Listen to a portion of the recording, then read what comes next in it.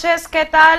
Este jueves ha venido cargado informativamente hablando. Por la mañana nos enterábamos que el sindicato Uso ha denunciado al alcalde Jorge Suárez y al concejal de seguridad Álvaro Montes por un presunto delito de prevaricación. Además, por la tarde, sindicatos y Navantia han firmado al fin el convenio colectivo único de la compañía y el plan estratégico 2018-2022. Les contamos estas y otras noticias que nos ha dejado la jornada de este jueves, como siempre, a continuación de forma breve con los titulares.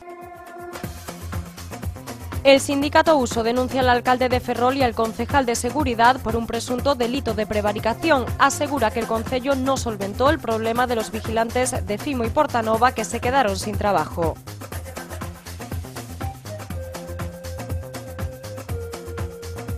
Desahucio esta mañana en el barrio de Recimil. Una joven pareja abandonó la vivienda sin oponer resistencia. El concello sostiene que provocaban incidentes graves de convivencia vecinal.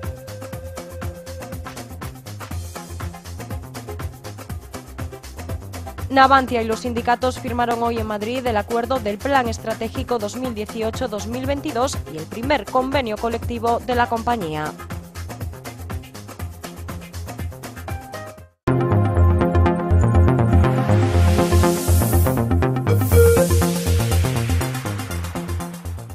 Como les contábamos hace un momento al inicio de este informativo, el sindicato Uso ha denunciado a Jorge Suárez y Álvaro Montes por un presunto delito de prevaricación. La Federación de Trabajadores de Seguridad Privada de Uso presentó ayer una denuncia en los juzgados de Ferrol contra el alcalde Jorge Suárez y el concejal de Seguridad Álvaro Montes por un presunto delito de prevaricación por omisión y otro de discriminación y vulneración de la libre concurrencia entre empresas. Según explicó esta mañana en rueda de prensa el secretario estatal del sindicato, Basilio Alberto Febles, la denuncia está motivada por la situación en la que se quedaron 12 trabajadores de la empresa Seguribérica que prestaban servicio en las instalaciones de FIMO y del centro comercial Portanova cuando esta empresa entró en concurso de acreedores. Según el sindicato, el Concello de Ferrol fue la única administración u organismo de toda Galicia e incluso del resto de España que no cubrió los servicios de vigilancia con otra firma y que debería haberse subrogado la plantilla.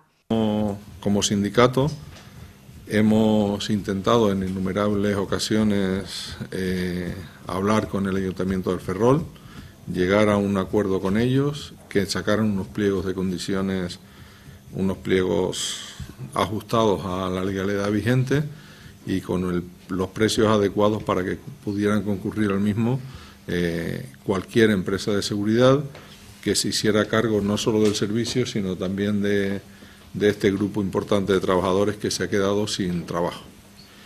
Y estas negociaciones pues han sido infructuosas por la cerrazón, entendemos nosotros, y por la poca visión política del alcalde de este, de este ayuntamiento. Basilio Alberto Febles explicó que los delitos que se atribuyen a los responsables municipales ferrolanos vienen dados por el hecho de que en las tres convocatorias públicas que hizo el Concello y que quedaron desiertas no se cumplieron las condiciones establecidas en la contratación del Estado, ya que se fijó un presupuesto de licitación con el que ninguna empresa podría abonar las nóminas a los 12 trabajadores.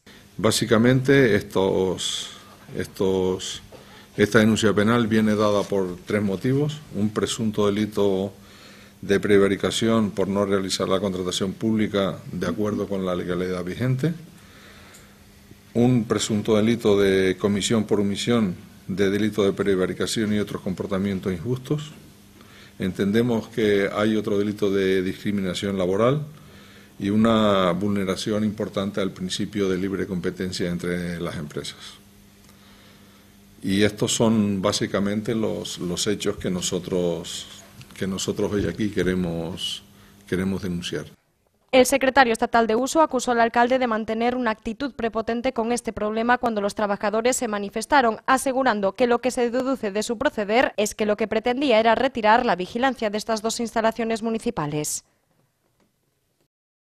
Por su parte, Álvaro Montes daba su versión esta mañana de los hechos después de conocer que el sindicato había presentado una denuncia contra él y contra el alcalde. Eh, en respecto á seguridade en Fimo e Portanova, eh, o Concello de Ferrol asume ese servicio unha vez eh, incorpora eh, a Feira de Mostras e o Centro Comercial Portanova, que non tiña a xestión das entidades que antes o facían, o Concello pasa a xestionar directamente e pasa a asumir, a asumir esos servicios eh, a ser un servicio sin contrato, tentouse en tres ocasións eh, mediante un procedimento de licitación. O primeiro deles aberto, que fose unha empresa de seguridade privada a, a nova xudicataria, que quedou deserto. En segundo lugar, a anterior lei de contratos preveía un, un procedimento que podría ser negociado, que tamén está publicado no perfil do contratante, perfectamente avalado e firmado por técnicos municipais, tanto a subrogación económica, as súas prescripcións técnicas como as prescripcións administrativas, que quedou deserto, e en un terceiro lugar xa se fai un contrato tamén que en este caso permitía un contrato durante un ano e unha prórroga de outro ano maior. Como digo, sempre con as prescripcións técnicas administrativas asinadas polos funcionarios do Concello de Ferrol. Nas tres ocasións quedou deserto e o que se dá en ese proceso e o que votou en parte parte as empresas para atrás foi que se deu un proceso de un traballo que era para 10 persoas, donde os dereitos de subrogación pasaron de 10 e mediante unha sentencia judicial a 14. Entón, as empresas, lóxicamente, un servicio que para 10 e terían que contar 14 foi o que votou para atrás este proceso que nos lamentamos. Esta mañana se producía finalmente el desahucio previsto en el barrio de Recimil. Tal y como había avanzado y censurado el secretario general de Juntos Actúa, Carlos del Río, esta mañana tenía lugar un desahucio en el barrio de Recimil, concretamente en el número 2 de la calle Narón. A las 11 y 20, a la hora a la que estaba previsto, la pareja de 19 y 21 años que habitaba este piso abandonaba tranquilamente el que hasta ahora fue su hogar, sin presentar oposición ante las autoridades. Nosotros lo que queremos es solo vivir tranquilo, tener una casa y vivir en paz, porque todo el mundo, todo el mundo se merece una casa porque aquí en Recimil hay muchas casas vacías y mucha gente viviendo en la calle, y esto es una vergüenza. Que hagan algo con las casas, que se la dean a la gente, no que las tengan cerradas ni que las tapien. Todo el mundo se merece una casa. Esto no es normal, no es normal. La gente quiere vivir tranquilo, tener su casa, tener sus cosas, su trabajo, su coche, vivir tranquilo. Y es que yo no entiendo esto. La gente que está en sus casas la están desahuciando. ¿Qué quieren? Que se meten en las casas, las arreglan y después los echan. Y todo el dinero que se gastaron en las casas se quedan en las casas porque las cierran y después las casas quedan vacías. Y más que vaya regalo de Navidad que nos hicieron. Vaya regalo de Navidad, a 20 de diciembre. Esto es normal. Yo no veo que esto es normal. ¿A dónde vamos a ir? Es que esto no es normal. Yo no sé cómo tienen corazón de dejar a la gente en la calle. A este lugar se acercaba también esta mañana del Río, que atendía a los medios de comunicación censurando esta práctica por parte del gobierno local. Y yo voy a ser coherente, con, voy a defender siempre a toda aquella gente que es humilde y que tenga necesidades de vivienda. En este parque hay más de 300 viviendas eh, mm, ocupadas o sin ocupar o tapiadas y creemos que la única manera de resolver los problemas que puede haber también de convivencia, etcétera, etcétera, es una regulación completa de las viviendas del barrio. Que eso es lo que le pedía Jorge siempre y lo que hizo fue eh, aplicar la regulación parcial del Partido Popular a lo que nos opusimos antes de las elecciones y que aquí en el barrio de Cimil pues caló muy, muy hondo. También queremos decir que no solamente este problema, hay problemas de permutas, hay problemas de gente que es mayor o que tiene problemas de, enfermedades, tiene humedades, tiene unas, unas, condiciones en las casas que son muy precarias y que no está nada para resolver ese, ese problema. Entonces, esa inacción a mí es un día muy triste, es un día que quedará marcado para, para mí y que seguramente no sea el último, porque yo sé que hay más de 80, sobre 89 exhortos eh, de para desahucios en, en, Recimil. Esto es, un, esto, es un, esto es un principio, pero va a seguir, va a seguir. Únicamente Jorge Suárez, como no, es una, no hace unas políticas transparentes y claras, mmm, eh, desahucia a quien quiere y a quien no quiere no, no lo hace, teniendo las mismas, las mismas condiciones unos que otros. Y bueno, eh, yo lo que tengo que decir es que voy a seguir defendiendo esta, mi conciencia desde el consistorio se indica que este desahucio se produce por problemas graves de convivencia vecinal. El presidente de la Junta, Alberto Núñez Feijóo, avanzó hoy la aprobación de una inversión que supera los 57 millones de euros para el inicio de la primera fase de las obras de remodelación del plan director del Hospital Arquitecto Marcide. El presidente del Gobierno gallego, Alberto Núñez Feijóo, avanzó hoy en la rueda de prensa del Consejo la aprobación de una inversión de más de 57 millones de euros para el inicio de la primera fase de la ampliación del Hospital Público de Ferrol y a la espera de que el Ayuntamiento cumpla con su deber, dijo, y conceda la licencia para poder construir el nuevo edificio del hospital. No hay ido sanitario. Hoy autorizamos un investimento no Hospital Público de Ferrol.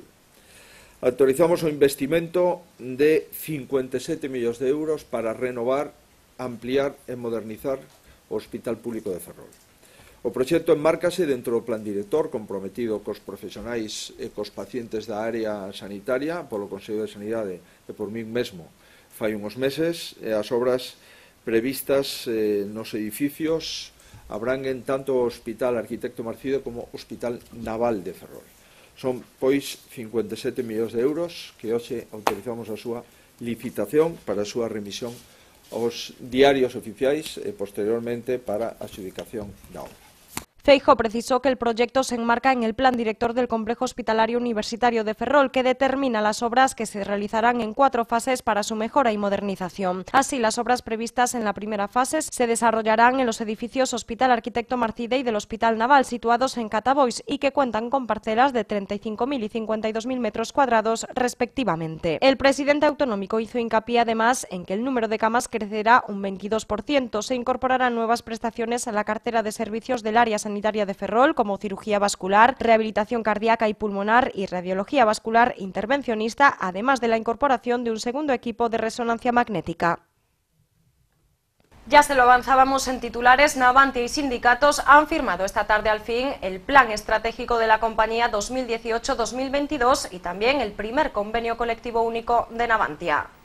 SEPI, Navantia y las seis federaciones sindicales con representación en la compañía naval han firmado hoy en Madrid el acuerdo del Plan Estratégico 2018-2022 y el primer convenio colectivo intercentros de Navantia. El acuerdo ha sido apoyado por el 67,4% de la plantilla y ratificado por los consejos de administración de SEPI y Navantia. El plan ha sido firmado por la presidenta Susana de Sarriá y el vicepresidente de SEPI, Bartolomé Lora, así como los representantes de las organizaciones sindicales con presencia en la compañía. Tras la firma, la presidenta de Navantia ha agradecido a todos los que han participado en el desarrollo del plan el esfuerzo realizado, especialmente al equipo de negociación de la empresa y a los agentes sociales, al tiempo que ha acentuado el apoyo dado por SEPI y el Gobierno. Este acuerdo, ha dicho la presidenta, es una gran oportunidad para transformar, modernizar y garantizar el futuro de Navantia. Por su parte, el vicepresidente de SEPI, Bartolomé Lora, ha subrayado la importancia del acuerdo alcanzado para el futuro de Navantia y el clima de colaboración que ha presidido todo el proceso de elaboración del plan estratégico. Según Navantia, el acuerdo garantiza garantiza la continuidad de todos los centros y sienta las bases de la transformación de la compañía, que así tendrá mayor influencia positiva sobre el empleo en las zonas geográficas donde está implantada. La Ría de Ferrol, Bahía de Cádiz, Dársena de Cartagena y Madrid. En ellas genera 38.000 empleos directos e inducidos.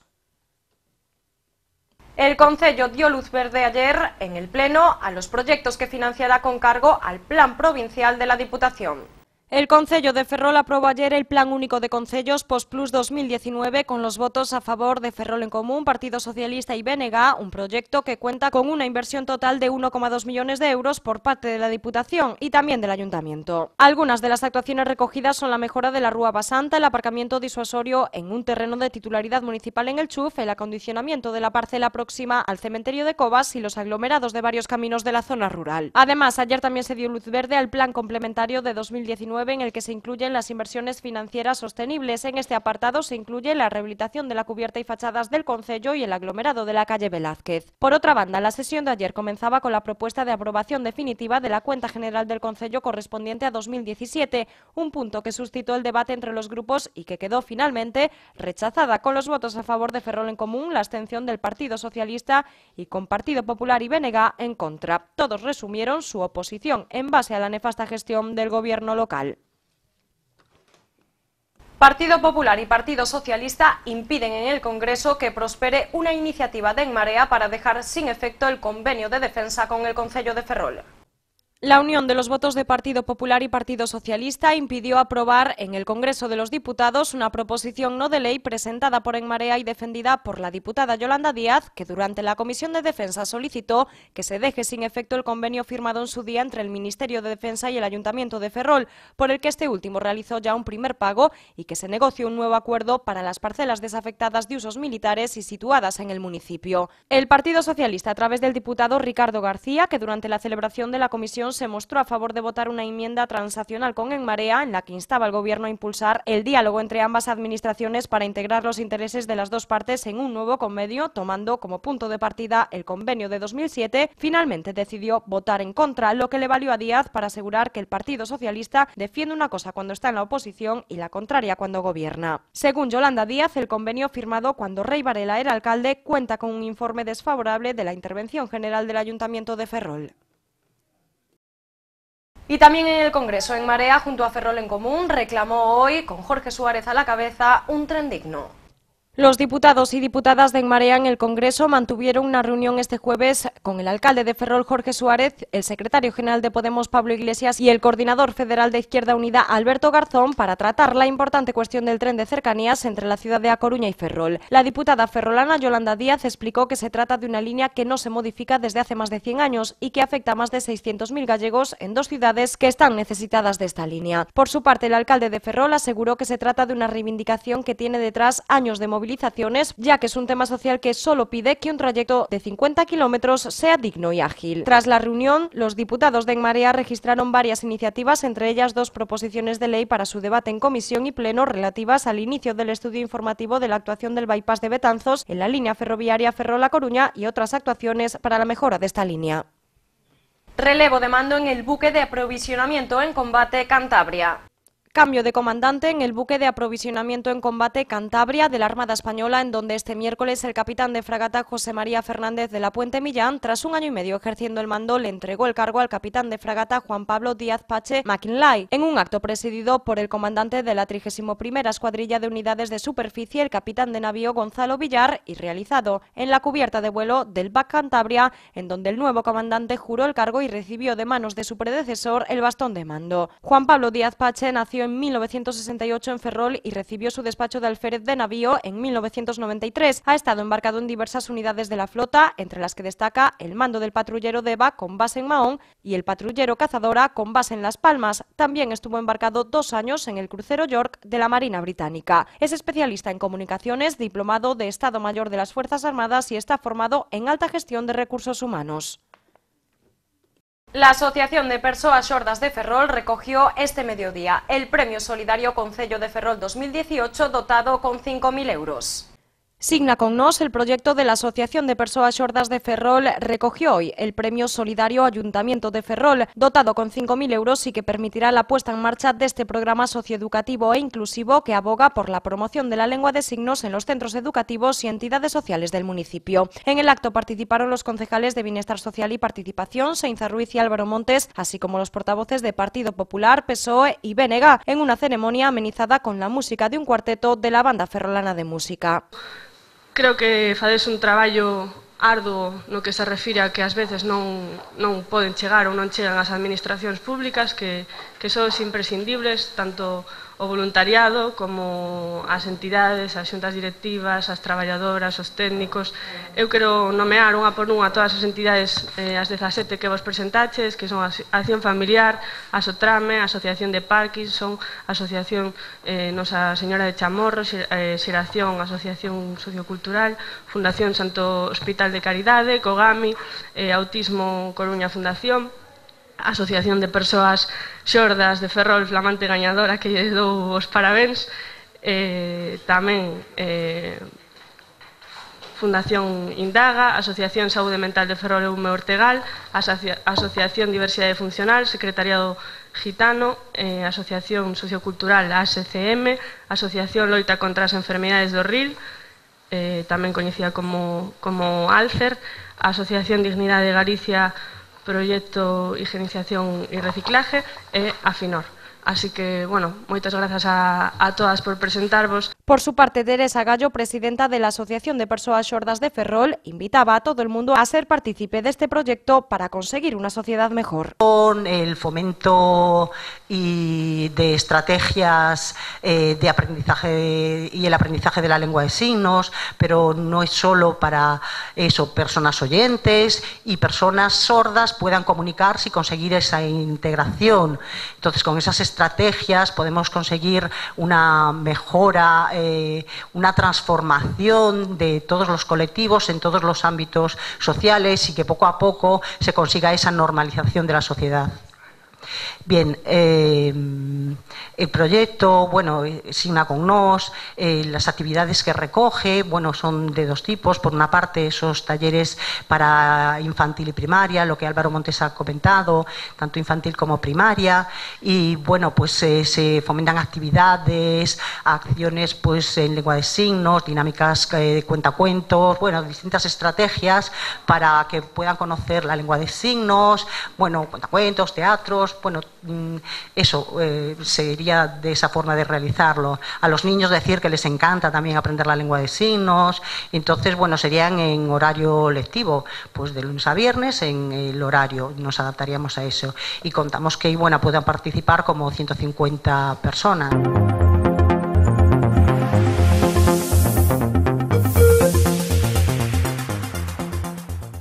Otra tragedia en el mar, un muerto y tres rescatados en un hundimiento, el segundo en menos de 24 horas en la comunidad. Este se ha producido en Malpica.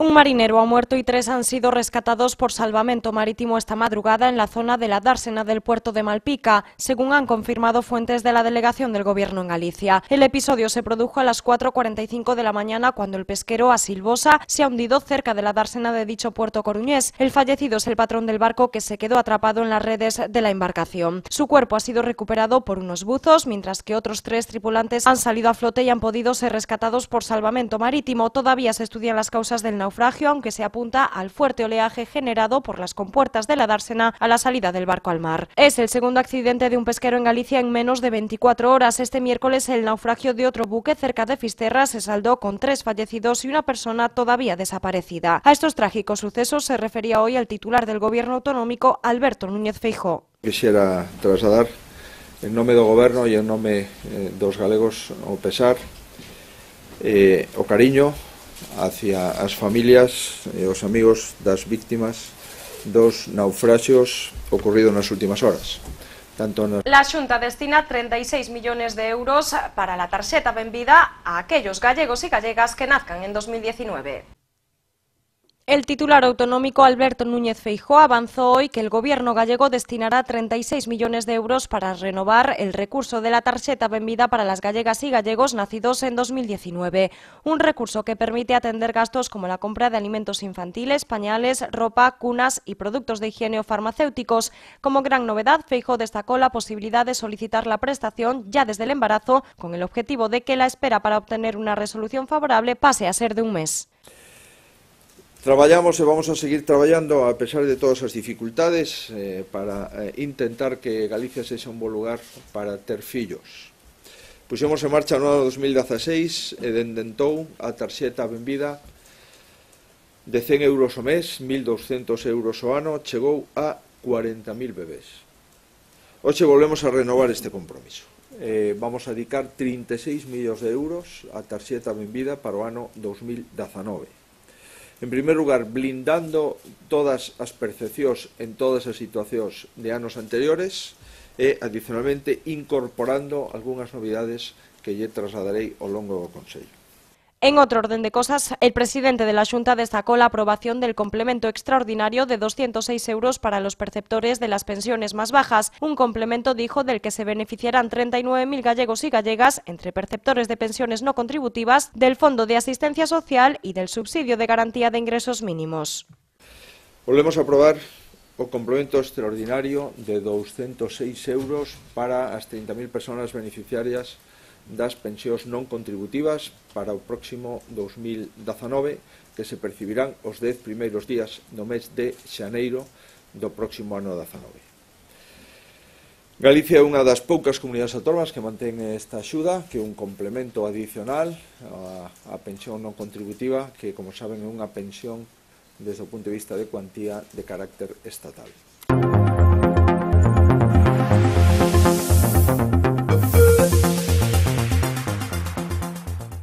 Andrea Veledo será el candidato a la alcaldía de Narón bajo la formación Narón por diante. Andrea Veledo, único edil de Esquerda Unida en el Ayuntamiento de Narón, será el candidato a la alcaldía de este municipio por una nueva formación de confluencia bajo el nombre Narón por Diante, integrada por Esquerda Unida, Nova y personas de izquierdas, tras ser elegido por la asamblea de esta nueva agrupación por unanimidad. A través de un comunicado, Aveledo ha asegurado que Narón por Diante es un espacio de confluencia que va a permitir que en las próximas elecciones municipales la izquierda naronesa pueda presentarse con una candidatura abierta y de unidad que defienda los intereses y los derechos de los trabajadores y de los vecinos de Narón, en donde todavía falta por elaborar la lista electoral, incidiendo en que las puertas continúan abiertas para las organizaciones de izquierdas y vecinos que quieran participar en el proyecto. Entre sus objetivos, generar ilusión, trabajar por Narón, construir una ciudad más humana y un ayuntamiento transparente, cercano y acercado a la ciudadanía, además de recuperar y municipalizar, dijo, servicios básicos. La plantilla de Endesa en Aspontes se ha movilizado esta mañana para reclamar avances en la negociación del convenio.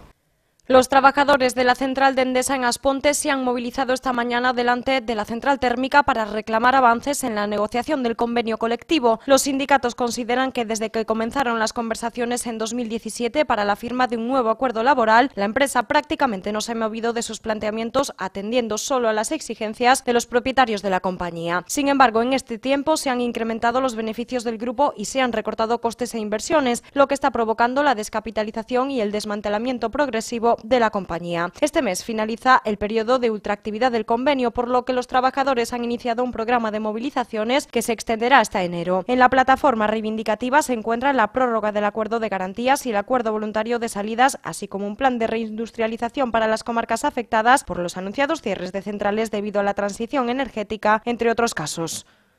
FEN invertirá 484.000 euros en la ampliación del cementerio municipal. El Pleno del Ayuntamiento de Fene acordó esta mañana destinar una inversión cercana a los 484.000 euros para la ampliación del cementerio municipal de Barallobre, una intervención que recoge la construcción de 126 columnas de nichos y ceniceros funerarios, la reurbanización de estos nuevos espacios, la instalación de un osario municipal y de un horno de quema de residuos. El alcalde Gumersindo Galego explicó que de esta inversión 187.597 euros procederán de la Diputación Provincial y los restantes serán aportados por el propio ayuntamiento. Según el regidor, la ampliación del cementerio da respuesta a una demanda vecinal constatada ya hace tiempo y al respecto recordó que en la pasada legislatura el ayuntamiento llevaba a cabo una campaña para conocer la demanda de nuevos nichos y columbarios en el Camposanto, que se saldaba con 120 peticiones. Repasamos nuevamente los titulares más destacados que nos ha dejado la jornada de este jueves. El sindicato Uso denuncia al alcalde de Ferrol y al concejal de Seguridad por un presunto delito de prevaricación. Asegura que el concello no solventó el problema de los vigilantes de Fimo y Portanova que se quedaron sin trabajo.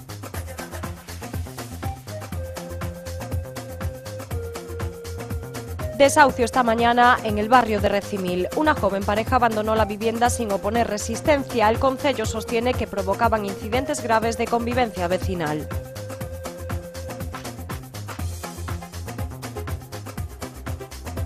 Navantia y los sindicatos firmaron hoy en Madrid el acuerdo del Plan Estratégico 2018-2022 y el primer convenio colectivo de la compañía.